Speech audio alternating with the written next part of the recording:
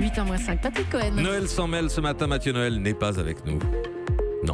Grand fan du PSG, il a posé une RTT pour se remettre de la défaite de son équipe hier soir au Parc des Princes. C'est son neveu marseillais, Panis Noël, qui est avec nous en studio. Ah, petite mine les Parisiens Et oui, Patrick Cohen, que voulez-vous? La vengeance est un plat qui se mange froid, comme l'aioli.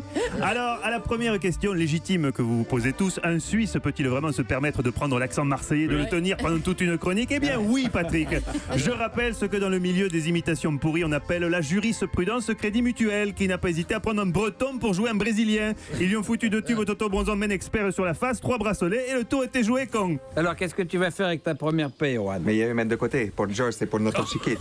Mais il y a envie des fondations solides, comme le crédit mutuel.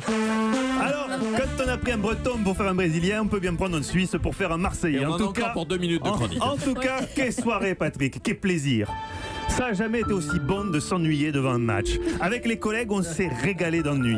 On avait décidé qu'à chaque fois que Di Maria raterait une passe, on s'enverrait un pastaga. Oh, fan des chichous, on a fini à 3 grammes 7. Complètement niasqué, guindé comme des barriques de Ricard, avec mon beau-frère en slip qui chantait Paris on t'encule et ma femme qui montrait ses loches au balcon en criant Bonjour. oui, oui. Oui, ma femme n'est autre que Cassandra Leclerc, la nièce de Julie, qui d'ailleurs nous rejoint souvent l'été au Cap d'Agde où elle s'adonne à son sport préféré. Ah oui, moi je regarde beaucoup les fesses des mecs. Coquinette, coquinette En tout cas, merci Paris pour cette belle soirée. Bonheur prolongé ce matin en lisant la presse. Les notes des Parisiens, on dirait pas des notes de l'équipe, on dirait des notes de Télérama. De 1 à 3, con. Et encore, ils sont gentils, ils disent qu'à 0-0, un éclair de doute est pourtant passé dans les yeux de Ronaldo. Oui. C'était le moment où il venait de dribbler Daniel Alves pour la 37e fois d'affilée. Il s'est dit effectivement, putain, con, est-ce que j'ai pas garé la Porsche trop près de la Bentley de Benzema? S'il est aussi adroit avec un volant qu'avec un ballon, il va me la rayer en sortant du parking, le con. À part ça, il a pas trop eu peur, va le Cristiano. Ah, Cono de Parigo, ça s'imagine être l'égal du Real, du Barça. En fait, le PSG, c'est l'égal de clubs plus modestes. Rennes Saint-Malo, Dol Dinan Lamballe ou Loire-et-Lagnon. Voilà, voilà, voilà. En plus, je vois qu'en plus d'être bon au foot, vous avez aussi l'oreille musicale.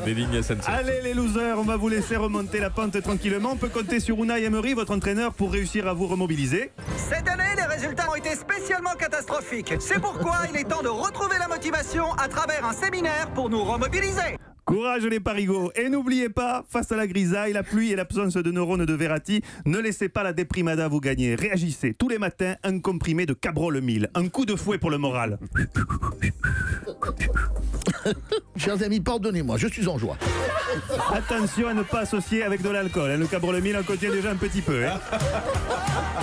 Mathieu Noël, une requête pour finir. Reprenez votre parler euh, normal et naturel pour nous donner le programme de votre émission à midi. Euh, J'aimerais bien, mais j'arrive pas à lire ce qu'elle m'a écrit sur mon petit post-it. Ce sera très Mais ça intéressant. sera passionnant. Ça Ouais. sera forcément passionnant comme tous les jours. À tout à l'heure midi. Mathieu Noël, quel teasing, c'est formidable.